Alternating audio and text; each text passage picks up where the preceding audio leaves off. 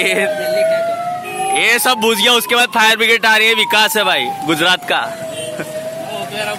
तैयारी करके जाओ ना नहीं तो टाइम 108 को इसको टाइम नहीं लगना चाहिए जैसा फ़ोन के साथ तुरंत निकलना चाहिए। तो तो टाइम तो लगे अब न्यूज़ वाले ऐसा बताया कि फायर ब्रिगेड ने भारी जहमत के बाद ये आग को बुझे ऐसा आएगा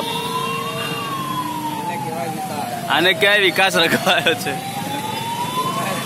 देखो है वो ऊपर से ही पानी डाल रहे अभी अभी।